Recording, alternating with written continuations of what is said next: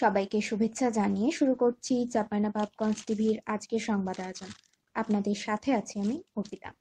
শুরুতে জানিয়ে দিচ্ছি, মনামিনা কৃষি খামার সংবাদ শিরোনাম।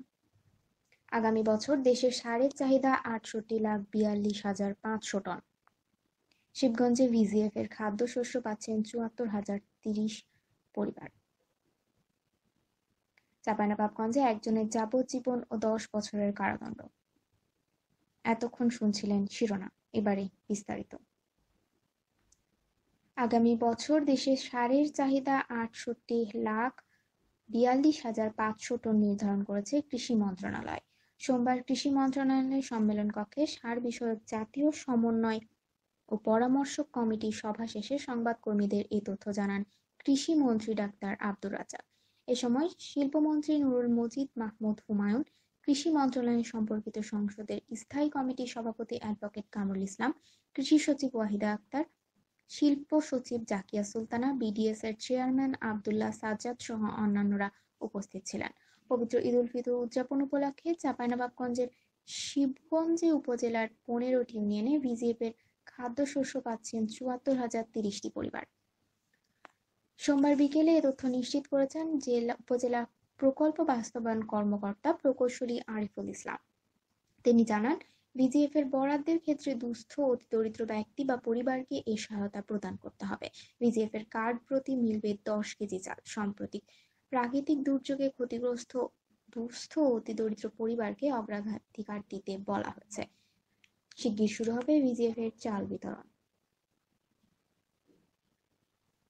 চাঁপাইনবাবগঞ্জে অস্ত্র আইনে দায়েরকৃত মামলায় আব্দুর রহিম নামে একজনকে যাবজ্জীবন ও দশ বছরের কারাদণ্ড রায় দিয়েছে বিশেষ ট্রাইব্যুনাল।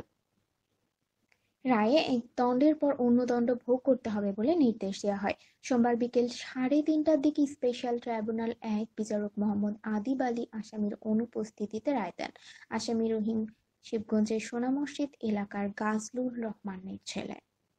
রাষ্ট্রপক্ষের আইনজীবী পিপি নাজমুল আজম বলেন, দুই সালের উনত্রিশ এপ্রিল কয়লাবাড়ি ট্রাক টার্মিনাল থেকে র্যাবের হাতে দুইটি পিস্তল, তিনটি ম্যাগজিন ও আট রাউন্ড গুলি সহ গ্রেপ্তার হয় রহিম।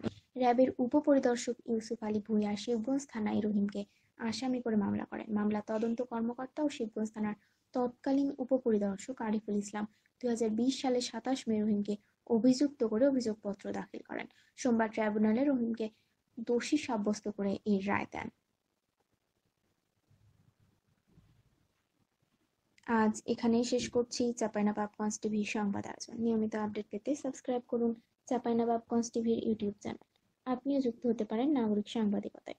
আপনার এলাকার যে কোনো সংবাদ জানাতে আমাদের সাথে যোগাযোগ করুন শূন্য এক তিন এক ছয় শূন্য দুই পাঁচ নয় আট দুই নম্বরে। আজকের মতো এখানে বিদায় নিচ্ছি। শুভরাত্রি।